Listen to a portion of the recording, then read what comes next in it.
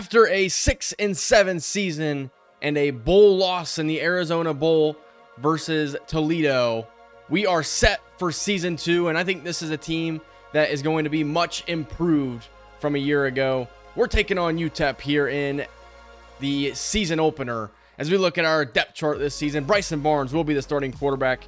He had 90 pass attempts a year ago, two touchdowns and seven interceptions. Robert Briggs with a little over 700 total yards and five touchdowns. Both of these guys are seniors, and both of these guys look to be leaders. Robert Briggs, also a captain this season. The depth behind him is very small, with all freshmen as well.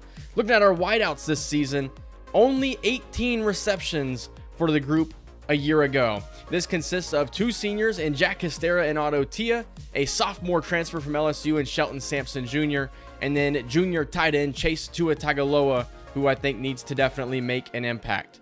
48 total games have been played along the offensive line. This is a offensive line that is really experienced. Four of them juniors. The only senior is Aluali Maui, the right guard here. But this is a very solid offensive line. All these guys come in around the same rating. Looking at the defensive line, three seniors and only one junior. So this is an experienced group here, but only four and a half sacks combined between the group.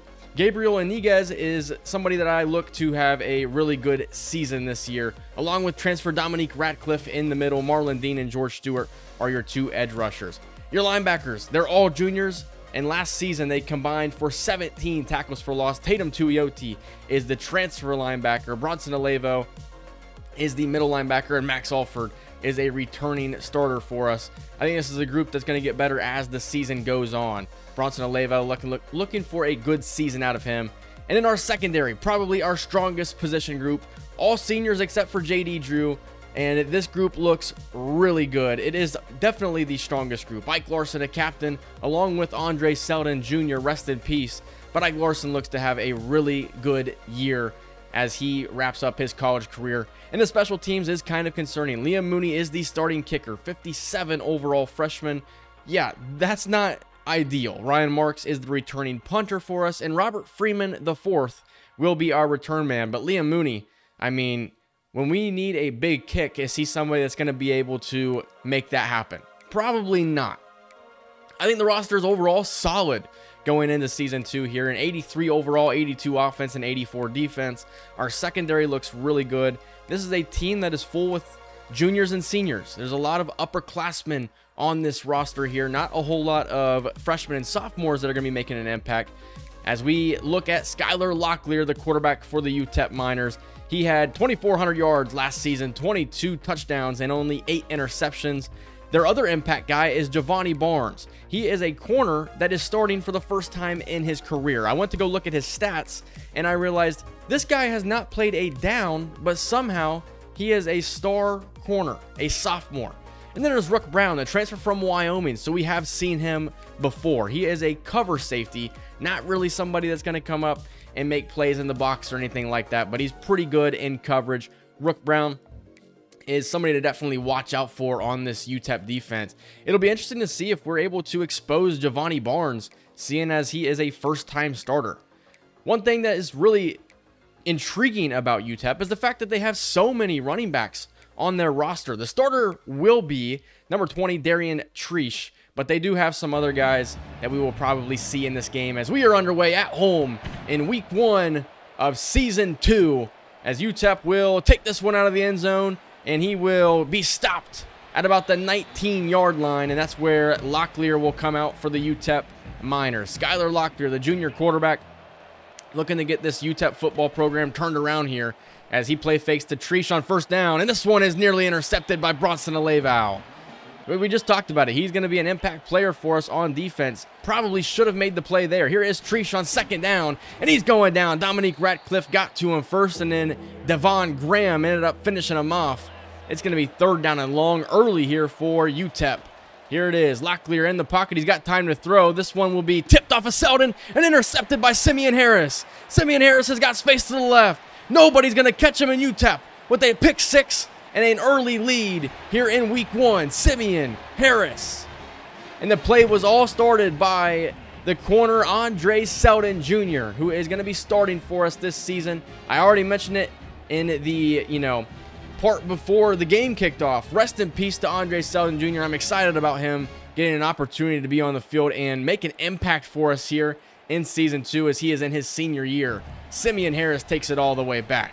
Here is Treesh on second down and nine, and he's going to pick up good yardage to give UTEP their first first down of the game. Here's a backup running back into the game, second down and six, and he's going nowhere.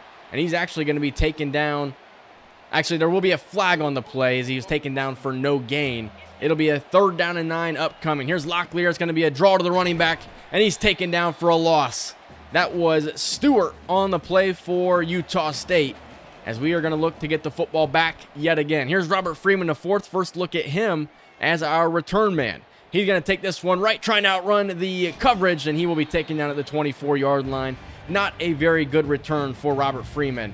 As you see our impact players in today's game, Ike Larsen on defense and Robert Briggs on offense as we get our first look at the Aggies offense. Here is a gift to Robert Briggs, and you see that quick jump cut that he has. He is extremely quick. He's shifty. He's got great change of direction and acceleration. Robert Briggs should have a really good season as he takes this one for a pickup of seven. That will bring up third down and two. As Barnes is in the pocket, Barnes will step up, and Barnes will pick up the first down with his legs. You know, I wasn't sure if Bryson Barnes was going to be our starter coming into this season with his throw power being at 86. He really didn't develop in the offseason.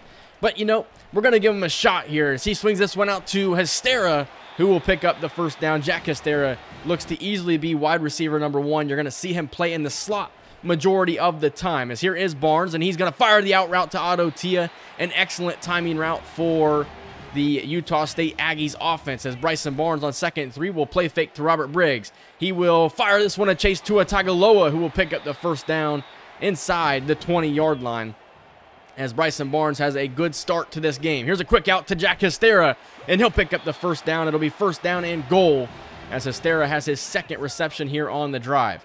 And he will pick up his third reception, he's going down for a loss. And there is a penalty flag thrown. This one will be coming back. It's Otto Tia on the holding call. You know, we saw a lot as the season ended last year. We held a lot, hoping to avoid the mistakes this year. As Liam Mooney's first kick is up and it is good. He looked solid there, you know, trying to get his confidence going. The young freshman kicker, 57 overall. Could be a long season if we have to rely on him, as Darian Treesh will pick up good yardage, as that will close out the first quarter. No, it won't. Three seconds to go here in the first quarter, and here is Locklear in the pocket. He's got all day to throw. Skylar Locklear, and where's the pressure at? And he finds his target, and they're across midfield all the way to the 30-yard line. Where was the pressure at? The Utah State defense just could not get off of their blocks, and that's a little bit concerning here early. Here comes Iniguez, but the pass will be completed. It's first and goal upcoming. Skylar Locklear completing some big passes. That one to, to the senior Cam Thomas. First down and goal. Here's the fake to Treesh. Here's Locklear. Touchdown, UTEP. They're on the board. Our defense had looked good on the first possession that they were out there. This time, they did not look good. Skylar Locklear picked him apart through the air and then made play with his made a play with his legs. As here is Thomas Yates for the first time this season. The freshman running back fumbles, and it will be picked up by Otto Tia. Well, Thomas Yates, that's not you know that's not a great way to make a first impression as we're going to swing this one out to Robert Briggs, and he'll pick up nearly a first down. It'll be third down and inches upcoming here. We would convert. Here is Bryson Barnes in the pocket this time. Fires this one to Shelton Sampson Jr., the sophomore transfer from LSU. He's somebody that I think is going to be a huge impact player here in a couple of seasons. Here is Barnes on second down and four. He's getting out of the pocket. Barnes trying to throw it away, and he goes down. It's a sack for the UTEP defense, and that will bring up third down and 13. Here is Barnes in the pocket. He's scanning, trying to find somebody, and this one's intercepted. Bryson Barnes throws the pick, and UTEP takes over at the 21 yard line. You know, interceptions were a huge problem a year ago. We saw Spencer Petras throw a lot of interceptions. We saw Bryson Barnes throw seven a year ago, and he has interception number one this year. Here is Darian Treesh on first down, and he picks up six yards. And that will set them up at the 15, later the 13th. 13 on a third and two, and that's a huge tackle by Devon Graham. Darian Treesh with 43 rushing yards early, and UTEP's going to go for on fourth down and one. Here is the gift to Treesh, and he is going down short of the marker. That was Marlon Dean making the play, the senior defensive end, as you watch him come off the edge, and then he just went on a beeline to Treesh, and he made the play. UTEP is turned away on downs. Third and seven here for Bryson Barnes, and this one's broken up. Fourth down upcoming for Utah State. UTEP will take over just under two minutes to go here in the first half. Here is Locklear. He finds his man, and that will be a pickup of eight yards. As that'll bring up a third down at midfield for Locklear and the offense. Here comes the throw, and he gets this one out to Darian Treesh, and it's an excellent first down pickup for UTEP. And it's really been all UTEP here in the second quarter. Here is Locklear. He finds his man open again, and that's Treesh again. And he's going to pick up yet again another first down to the 26-yard line. Here is Skylar Locklear in the pocket. Once again, no pressure. And this one's caught. And it is a first and goal down to the one-yard line. I thought it was going to be a touchdown. The defense just made a play. Here's Locklear on first and goal. Pitches the one out. And it's a touchdown to Darian Treesh. UTEP has the lead probably should be 21 to 10 right now. Our defense made a play on the last series. It's 14 to 10 UTEP with the lead here with 25 seconds to go in the first half. And that will do it for the first half. I got to say, we looked good to start this game. Our defense looked good. They've had some moments that they've struggled, but the story is the interception that we've thrown that set UTEP up in good field position. Didn't lead to a score, but it really hurts the confidence of your quarterback as we will return the kick here, and that is Antoine Hausler, the freshman return man, and he's going to take this one to the left. Hausler to the 46-yard line. That's a freshman running back that you're definitely going to see this season. He's the same overall as Thomas Yates, and he's going to get the football here on first and 10 as Hausler will pick up four yards, trying to reward him for the good return that he had. And that would later bring up a third down and six. Here is Barnes. It's the whip route to Shelton Sampson and we'll pick up the first down to the 42 yard line. It's important that we come away with a good drive here to kick off this second half. Here's a gift to Robert Briggs on first down, and he's going to pick up 12 yards. And it's an easy run for Robert Briggs. Only 36 yards rushing for him, surprisingly. Here's the fake to Hestera, fake to Briggs. This one's thrown across the middle, and it's caught by Otto Tia. What a reception for the senior receiver. Second down and three here for Utah State. Here's the give to Hestera. He cuts up field and he's going to pick up the first down. It'll set up first down and goal. We have not really ran the ball the way that I would have liked in this game so far. Here is a fake to Briggs. This one's thrown out to the freshman Pierre Lambeau. Touchdown, Pierre Lambeau. Utah State reclaims the lead. That is freshman tight end Pierre Lambeau. He's the fastest tight end that we have on the roster. He's more of a receiving threat guy, 81 speed. I'd like for him to be a little bit faster, but I think that he could definitely make an impact here early in his career. A normal development tight end, so not really sure how much better he will get. Here is Darian Treesh on first down. He's breaking tackles, and he's got a first down pickup. 55 yards on the ground for Darian Treesh. Second down and four now. Here's the fake to the receiver, and this one is overthrown, intended for Darian Treesh again. He has definitely been the impact guy on offense for UTEP. Here's Locklear in the pocket, finds his man, and it's going to be well short of the first down marker. I'll tell you what, Devon Graham is playing lights out here in week one. Here's Bryson Barnes to Hestera, and that will be a fourth and one upcoming. What will Utah State decide to do? They are going to go for it here. Look to get the defense and jump off sides. No penalty flag on the field, but Robert Briggs will pick up the first down anyway. I only snapped that ball because I thought we had the defensive end offsides. He got back just in time. Luckily, Robert Briggs was able to pick up the first down anyways, as we move the chains. First and 10 from the 44 yard line. Here is Bryson Barnes. He's on fire at the moment. And there's a good catch by Chase Tua Tagovailoa, breaking tackles. And he's taken down at the 45 yard line. First down and 10 for the Aggies. Here's Hausler in the game again. What is this? A flea flicker. Bryson Barnes to the end zone, and it's Tua Tagovailoa for the touchdown. Utah State, what a play call by Jalen Clark. It was given to Antoine Hausler. He gave it to Hestera, and then Hestera flipped it back to Bryson Barnes, and you can't miss the wide open chase to a Tagovailoa. Utah State extends their lead 24 to 14 as it is Locklear on the read option. He's taken down for a loss. That's Omari O'Keek. He is your sub linebacker, a former strong safety, moved to middle linebacker in the offseason. looking to have a good season for himself. He's a speedy guy looking to make plays as we're able to force a three and out. Here's Thomas Yates back in the game, and he's going to get the give here on first down and 10, and he's going to pick up eight yards, trying to get his confidence back here after his fumble on his first career carry. As we start the fourth quarter here, here is Bryson Barnes, third down and five, as he's going to get out of the pocket, and Bryson Barnes will use his legs and pick up a first down to the 36 yard line. As here is Barnes with the quick bubble screen to Jack Castera. He picks up four yards. That's his seventh catch for 51 yards. Robert Briggs in the backfield here on third down and six. Barnes drops back. He's floating this one for Pierre Lambeau. And this one is intercepted. UTEP with an excellent, excellent play defensively. And I got to admit, I thought that Pierre Lambeau was going to be able to come down with that. That's not Bryson Barnes' fault, in my opinion. He threw it up, and it was just an excellent play made by the defensive back. Fortunately for him, he was able to drag that right toe apparently before his left foot went down. As UTEP will take over at their own eight yard line. And here comes Dominique Ratcliffe. It's a safety for the Utah State defense. The transfer Dominique Ratcliffe gets to Skylar Locklear and makes the play. I think that he is going to be somebody to definitely watch out for on that defensive line. He's a dangerous player. Here is Thomas Yates in the game now. First down and 10, and he'll take this one to the right, and he picks up eight yards. When I was in practice mode with Thomas Yates, he looked really slow to me. But in game, he definitely looks like he's a lot faster.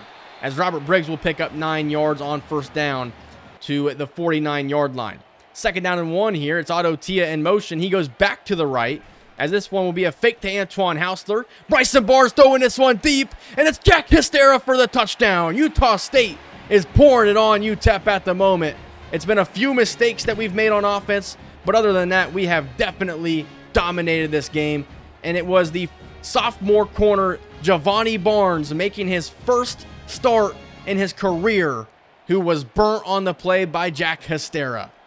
As we're about midway through the fourth quarter now, as UTEP would need a miracle at this point, and Marlon Dean will get his first sack of the season. He got a couple of starts a year ago when Blaine Spires was struggling. I think he's looking to have a great season as well. Fourth down and 10 for Locklear and UTEP. This one's thrown across the middle and broken up by Bronson Aleval, and that will turn UTEP over on downs. Here is Joshua Wood now, the transfer from Fresno State. He was somebody that I thought probably could have beat Bryson Barnes out for the starting position. He didn't, and he's going to get some backup opportunities on the season. If Bryson Barnes struggles, then Joshua Wood will definitely get an opportunity at some point this season. As this one will be intercepted as Jeremiah Hughes, the transfer corner from Michigan State. Everybody that's new to this roster has made an impact. And that's something that really made me excited for this team. It was the fact that we had freshmen out there making plays, we had transfers out there making plays, and we had a new starting quarterback in Bryson Barnes, who I thought looked really good in today's game. It was a poor second quarter for us, but other than that, we dominated this entire game. I'm really happy and I'm really excited to see how this team can perform as the season goes on. Bryson Barnes, I think, will be just fine at quarterback. As long as he takes care of the football, he'll give us a chance to win games. I think that our secondary also looks really, really good. It looks lights out as we picked up 366 yards of offense. We did turn the ball over twice, so didn't UTEP. But Bryson Barnes overall did have three touchdown passes. The trick play that we ran there in the third quarter, I do believe, is when we ran that. That was an excellent play call. Maybe I used it too soon in the season, though, because I'm not sure we'll be able to use that one again without the defense knowing what's about to happen. Hestera, eight catches, 100 yards, one touchdown, doing his best Jalen Royals impression. Chase Tua Tagovailoa looked really good at tight end as well. Shelton Sampson and Otto Tia each had two receptions in this game. I'll tell you what, Devon Graham looks like one of the best players on the field here. Dominique Ratcliffe did as well, as Simeon Harris and Jeremiah Hughes each came away with interceptions. Locklear only 161 yards passing, no touchdowns, two interceptions. And Darian Treesh, 10 rushing attempts, 55 yards. He didn't get any attempts late in that game. They passed every down. If they would have given Treesh more opportunities, he probably could have went for over 100 yards rushing if I had to bet. As that is a victory here in week one. Simeon Harris is your Mountain West Conference Defensive Player of the Week with his interception for a touchdown. As we get an update on recruiting here, Mike Lemonier is a four-star running back, 35th player in the country, elusive back. We are number one on his board, along with four-star center Alex Tuttle and four-star defensive tackle Imani Awesome. So we are making some plays here early in this recruiting season. There's some guys that I'm definitely excited about. Bernard Landers is somebody that I'm excited or intrigued with, I should say. Not really excited about. Don't know a whole lot about him yet, as we have him 100% scouted here, but he's not fast enough to be a scrambler archetype that I'm really interested in, especially when you have a guy like Jeremiah Tobias, who I really think could be a star by time he's a junior or a senior. I don't think there's any reason to be aggressive for a quarterback here in this first recruiting cycle. One thing I will mention here about the series, I am considering changing the quarter lengths to seven minutes. In the next episode against Texas A&M, we will still stay on six-minute quarter lengths, but I am heavily considering changing it to seven-minute quarter lengths because the play counts for both teams is just too low at the moment. I'm looking for about 110 combined plays.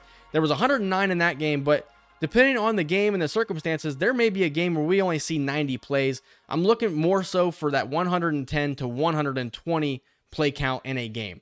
But that's going to do it here for week one of season two. We are 1 0, and we are taking on the number eight team in the country in the next episode. I hope you guys enjoyed it. If you did, leave a like, comment, subscribe, and I will see you in the next one. See ya.